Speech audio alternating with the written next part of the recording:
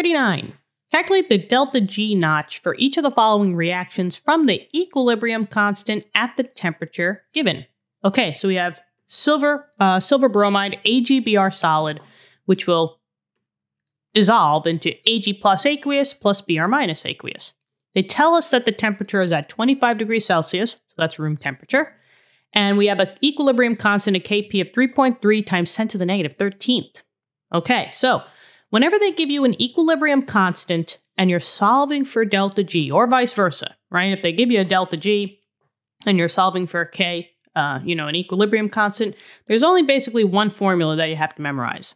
There's two variations depending on what you're actually solving for. Just makes it easier. We're solving for delta G. They gave us that K value. The easiest formula is this right here. Delta G equals negative RT ln of K. Now we just have to know what the variables are. If we're solving for this, that means we should know RT and K. Well, we'll always know R because R is a standard value. R for this formula is the 8.314. Now, that is in joules per mole times Kelvin. Those are the units for R value. Now, if it is a Kelvin value, that means that the temperature, capital T, has to be in Kelvin. They gave it to me in Celsius. So the first thing I have to do is I have to convert the Celsius into Kelvin. Celsius into Kelvin, we know that that's plus 273. More specifically, it's plus 273.15. So that's what I'm going to do.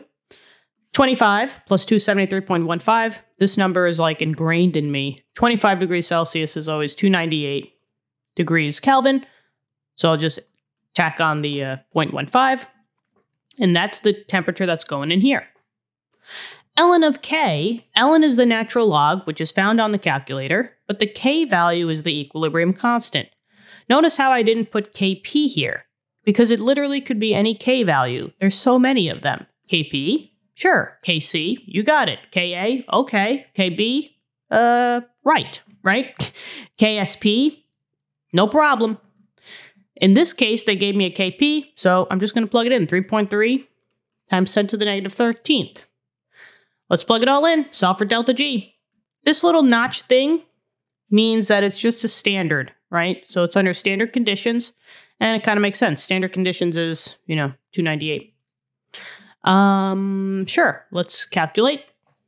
Negative 8.314 times the temp, 298.15. And then I'm going to say ln of 3.3 times 10 to the negative 13th.